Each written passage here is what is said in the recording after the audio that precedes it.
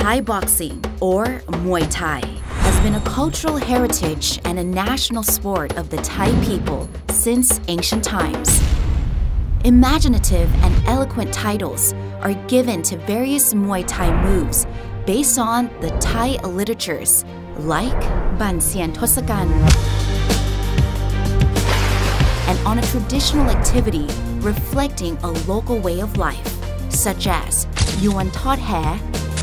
Regional Muay Thai styles and charms vary in their own unique way, from the fierceness of Muay Tha Sao from Uttaradit, the strength of Muay Korat from Nakhon Ratchasima, the elegance of Muay Chaya from Surat Thani, to the agility of Muay Lopburi an unrivaled and perfect combination of sport and culture, Muay Thai has come a long way over the past decades and has continuously enjoyed worldwide popularity.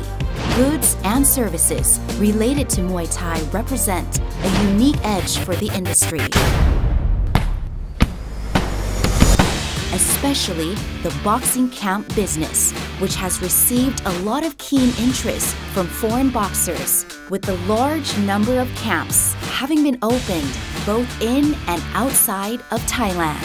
This has given rise to the availability of creative boxing glove designs, boxing shorts that have become a must-have fashion item Muay Thai, shows at tourist attractions, and other forms of entertainment medium, all creating a level of interest among foreign enthusiasts.